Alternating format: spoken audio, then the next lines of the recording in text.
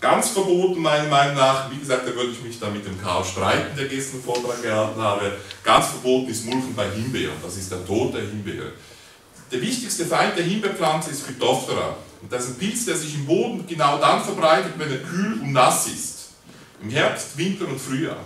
Wenn Sie da so eine dicke Mulchschicht drauf haben, dann müssen Sie zwar weniger jetten, das verstehe ich, wobei die Himbeeren irgendwann so dicht wachsen, dass da auch nicht mehr viel kommt.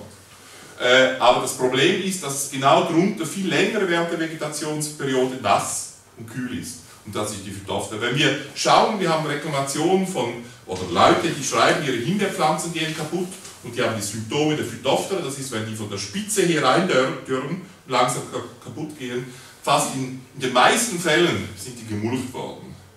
Das darf man nicht machen. Was man bei Himbeeren kann, ist im Frühjahr ein bisschen Kompost, zwei Zentimeter ausbringen, gleichmäßig verteilt und ein bisschen einhacken oberflächlich. Da müssen Sie keine Angst haben, dass Sie eine Wurzel verletzen. Es ist gut, wenn Sie eine Wurzel verletzen, weil Sie zerschneiden die Wurzel und die Wurzel treibt nachher aus und bringt neue Triebe. Also Sie haben nachher mehr Triebe, wenn Sie die ein bisschen verletzen. Also das ist was Gutes, so ein bisschen Kompost einbringen, aber eine Mulchschicht auf Himbeeren ist so ungefähr das Schlimmste, was man tun kann.